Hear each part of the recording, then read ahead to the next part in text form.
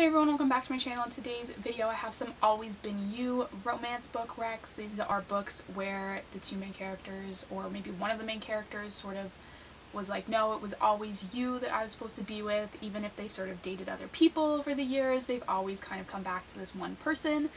And so that's what we're going to talk about today, so let's get right to the books.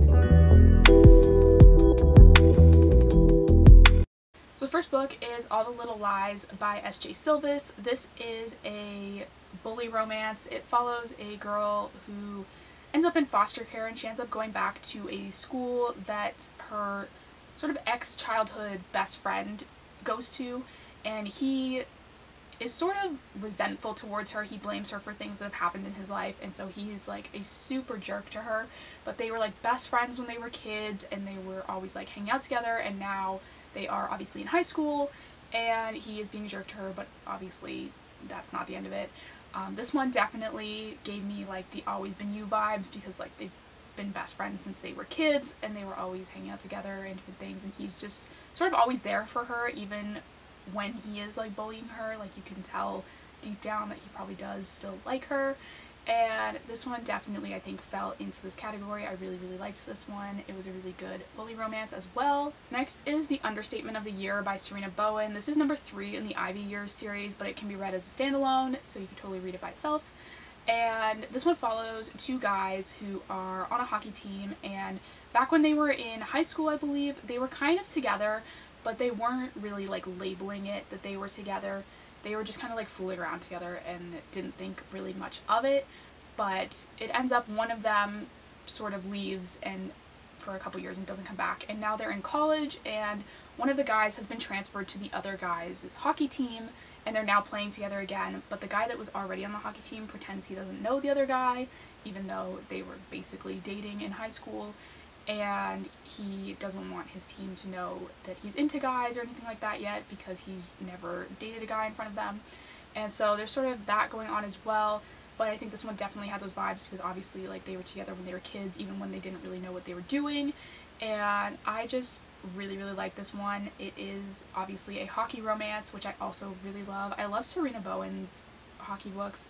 They're all pretty good to be honest. This series I will say is my least favorite of hers, but this book is the best book in the series, so maybe just read this one. I did really enjoy it personally. Next is Unconditional by QB Tyler, and QB Tyler's books, I feel like I always have to say this, are super like forbidden, taboo kind of things. They're never just like normal books. They always have something that you're kind of like a little bit cringy about. Like you're like, oh, if this happened in real life, I absolutely would not support it. But in this book, I'm totally fine with it. And that's pretty much describes all of QB Tyler's books. And this one in particular is about a guy who is a cop and he's in his early 20s, I believe, sort of just starting his career as a cop when there is a murder-suicide that he is like responding to and there is a girl that is hiding in the closet and I believe she's like seven or eight at the time maybe and she is like hiding and obviously both her parents are now dead and she won't leave this cop. Like she's hanging off his leg like will not leave him and he's like okay fine like we'll fill out the paperwork. I'll take her home for tonight and then tomorrow we can like get her into the foster system or figure out if she's got family or like whatever. And so they're like yeah okay sounds good. And she goes home with him and basically never leaves. He is like I said QB Tyler's books are always a little kind of iffy but he is her legal guardian for her childhood and teen years. He never adopts her though, which I think makes it somewhat better, I guess. Um, she is his ward, I guess you could say. He's her guardian, but they're never like parent and child. Like he, she never calls him dad. They're never have that kind of relationship. They're more just like roommates, even though she's like seven when she moves in with him and she's now older obviously. I believe this one happens right when she's about to turn 18 usually QB Tyler's books take place when the girl's about to turn 18 and that is sort of what goes on but I feel like this one definitely had those vibes where this guy was obviously you know had the option to date other girls and different things but just never did. And she from like the moment she met him was like obsessed with him. And it's definitely got those like always only you vibes where like it was always them for each other even though it was a little strange. I did like how this book dealt with it towards the end when you know, things were kind of getting iffy. She was still 17, I think, and he was like, no, we can't do this. And I liked how he handled it in a way that I felt like was reasonable for what was going on. And so I really like this one. Like I said, go into it knowing that you probably wouldn't approve of it in real life, but it is a really good book. Next is Always Been You by QB Tyler. I feel like the title of this is like very obviously fitting to this trope.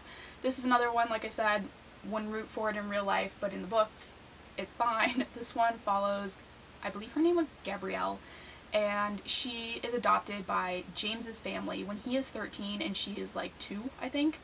But he pretty much is there for five years and then goes off to college and never comes home.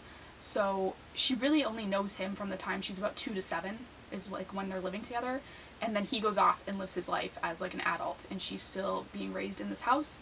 And this book follows them where they're going home for Christmas and they're like carpooling or they're flying home together or whatever.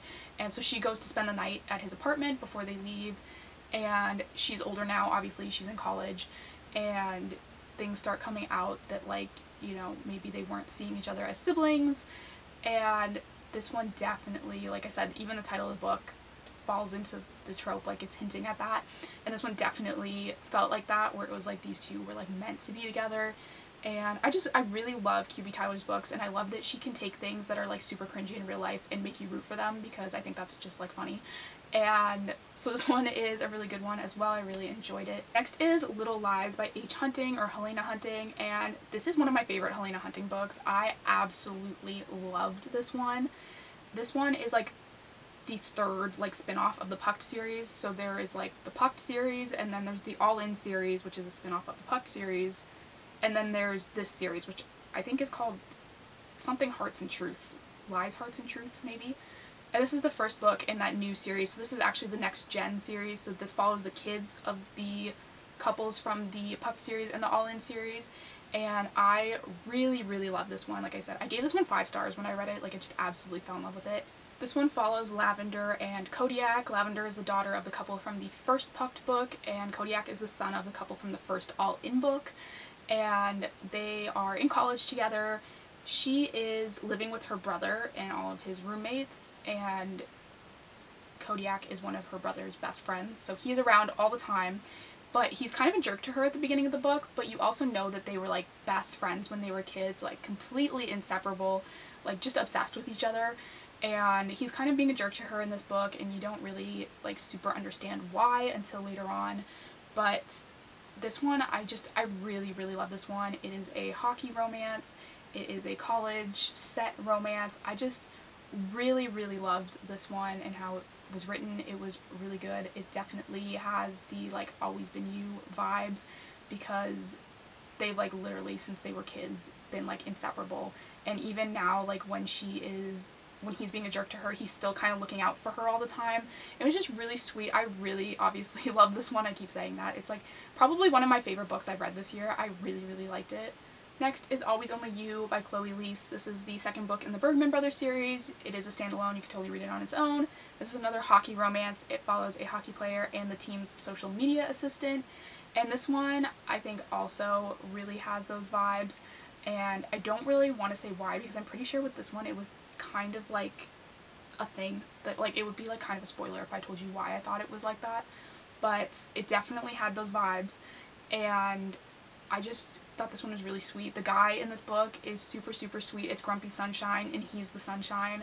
And he's just like the happiest dude ever. Like he's like a human golden retriever. Like he's literally like just like the happiest dude on the planet and this girl is super grumpy and she I believe has like arthritis or some kind of like chronic pain thing going on because she walks with a cane and she kind of has like a lot of health issues that she's dealing with and so she's kind of grumpy all the time and he's like sunshine. It's just a really cute one. It's definitely got the Always Been You. Obviously the title again is very similar to even being like Always Been You and this one's really good as well. Next is Corrupt by Penelope Douglas, which I feel like is such a random book in this video because I feel like it doesn't really fit with the rest of them. This one is about a guy and all of his friends. This is the first one in the series, but it this is the only one I think that can be read as a standalone. Personally, I would just read it as a standalone. I didn't love the rest of the series. I thought this one was the best. This one follows a girl who kind of always wanted to hang out with these guys. They go out on what they call Devil's Night, which I believe was the night before Halloween and they like pull all kinds of pranks and stuff and she always wanted to go with them and she finally does. And I believe now you're in, that's like in the past, and you're fast forwarding between then and the present, where she is older and these guys are kind of out to get her basically because they think that she ratted them out the year that she went with them. And so they're like being super mean to her. And the one guy, Michael, is like really obsessed with her. He is the only one that didn't go to prison, so they're sort of convinced that it was her because she liked him. And so he's like the one that's sort of really going after her. And I just feel like this one definitely had those vibes, even though it was like a little bit crazier and definitely more like a bully kind of romance book and a little bit darker. But it just like still felt like it was they were always meant for each other like even when they were in high school and I just really got those vibes from this one. Next is Bad Girl Reputation by Elle Kennedy. This is the second book in the Avalon Bay series. This one follows a couple who was together in high school and kind of got up to all kinds of trouble together in the town and they were kind of known as like the troublemakers and the girl decides that she doesn't want to do that anymore. She wants to grow up, like get a life kind of thing. So she moves out of the town and says like I'm done. I'm gonna go, you know, become an adult basically. And this guy is just left there and then it's like a year later and her mom dies so she comes back to the town for the funeral and this guy is of course still there and they kind of you know get back to talking and she's like I really don't want to go back to what we were doing before and he's kind of figuring out like what that means for him and like how maybe he may have to change for that and just kind of going along with that. But this one definitely gave me those vibes too because like they were always together when they were kids and like when they were younger and they were dating and it just like really felt like even if the other like if they dated another person like it would never be the same as it was with this person and so definitely gave me those vibes. It was really cute like small town romance as well. And lastly is Love at First Fight by Carrie Aarons. This one is about a girl who ends up dating her ex's best friend and her name is Cass and she basically was dating this guy Justin and they had booked out this sort of summer home in the Hamptons for the whole summer with a bunch of Justin's friends. And Justin ends up breaking up with her right before the summer via text saying he's moving to Singapore and basically like they're done. And doesn't tell her he's moving like nothing like literally just says yeah we're done and leaves. And she decides she's gonna go to this like beach house anyway and just like hang out with her friends and whatever and she goes and her ex Justin's best friend Smith is there who has been an absolute jerk to her basically since she's ever met him. And so she's like sort of dreading it and he is in the room next to her so they're seeing each other all the time and he's kind of always making fun of her and different things. And she ends up finding out that he has liked her since the first time he saw her but she was dating his best friend so he couldn't say anything about it. And this one I feel like definitely on his side had those vibes where he definitely like from the moment he saw her, he was like not going to be happy with anyone else. And so I think definitely from his perspective in this one, it was like the always been you trope. Definitely like boy falls first too because like he literally like was in love with her like the first time he met her and she had no idea. And so that one definitely I think falls under this category as well from his perspective. So those are all the books I have for you today. Thank you guys so much for watching. Don't forget to hit the subscribe button down below. I do new book videos every single week and I'll see you next time.